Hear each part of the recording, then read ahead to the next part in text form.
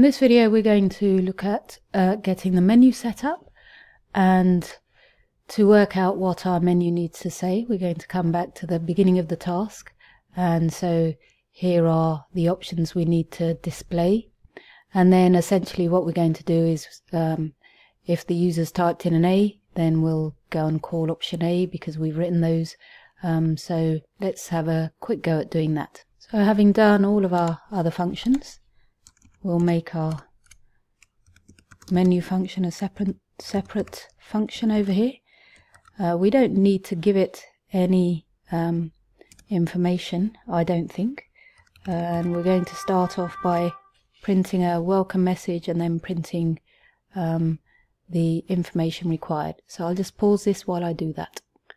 So I've uh, created my menu just by using print and the uh, three quotes at the beginning and then the three quotes and closing the bracket for print at the end. And then inside there I've just typed in uh, what I want the me menu to look like. Um, and then I've just asked for some input from the user. Um, so we can write another function which uh, deals with making sure that the input is always A, B, C or Q. Um, so we can definitely uh, do that. But I'm just going to start off by assuming that the um, the uh, choice that the user makes is a valid one.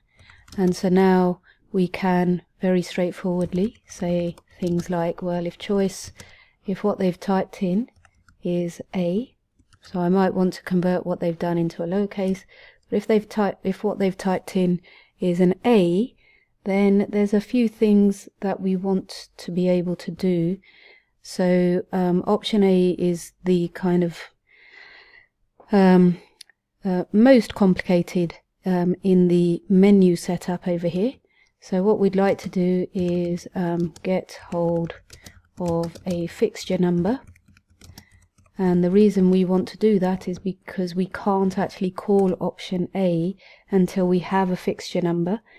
Um, and then the second thing we want to do, so I'm just putting that in as some um, options here. Then we want to call um, option A, which is our function, with that number. So whatever number the user types in, that's what we want to do. Um, if the choice is B, this is very straightforward, then all we're going to do is we're going to call option B. Option B doesn't take anything in, which is great for us. Um, if the choice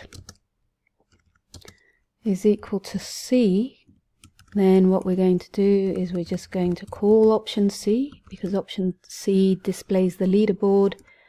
And the last one is if choice is Q, then what we want to do is we want to um, uh, return basically. We want to uh, stop doing this.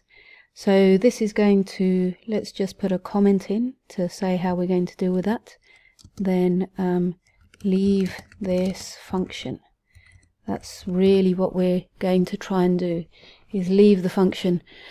Now this needs to uh, so um, let's just clarify a couple of things at the moment. So I, I can't run it because uh, this is probably going to give me a syntax error because I need to say what's going to happen if somebody types in A.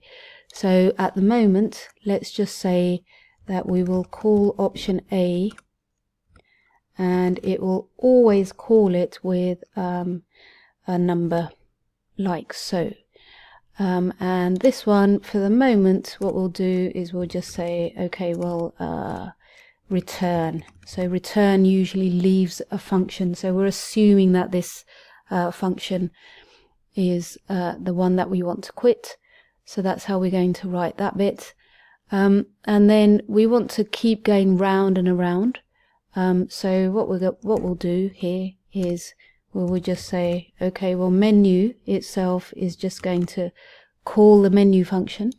So therefore return makes sense because return will leave this uh, particular uh, function. so it will drop out completely and it won't call this line here. So the reason we've got that line right at the the end is because it's going to go round and round.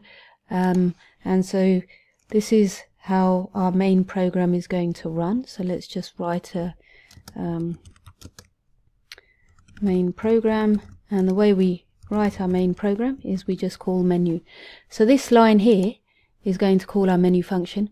This line here makes this keep going round and round. So it's going to keep displaying this. Um, so then you might think well if you're in let's say option B because we know option B finishes and you come down here and you do all of the printing then do I need to come over here and say go back to menu well absolutely not. You do not need to do that because what happens is every time a function is called and it finishes running so let's say we called option B so here we were at menu and we called option B. And so when we called this what it would do is it would come up here and do this and then it will do the last line and then it finishes and it says okay I've finished. What do I do now? Well I just go back to wherever the code was that called me. So it will now come down to line 96 and then carry on doing the next bit. And because the option you chose was B it will then say oh well it wasn't C so I won't do that. It wasn't Q so I won't return leaving this function.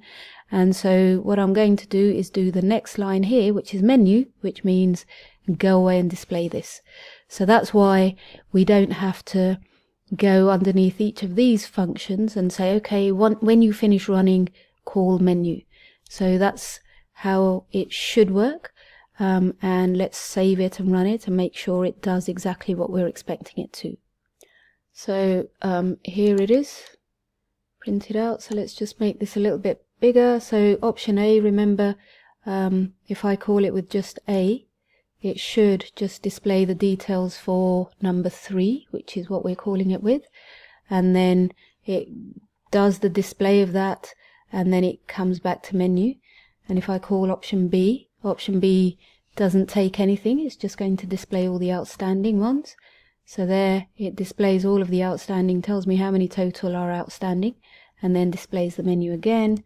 Option C displays the leaderboard so there's my leaderboard so I need to sort out how it's formatted and printed uh, but here's my menu again um, so I can go back and display A and now choose Q to quit and that should drop out of the menu. So all of that works, um, which is great. And now the only thing we need to worry about is getting hold of the fixture number for uh, this particular option to work, which we could, if we wanted to, put it all in the whole of option A.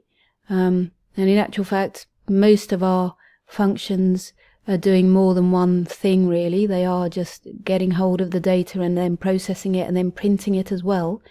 Um, so we could put in the uh, uh, input into option A, but um, what we might do is just think about how we can put it into a, a separate function so that we don't have to um, rearrange things here and we'll do that as part of the next video.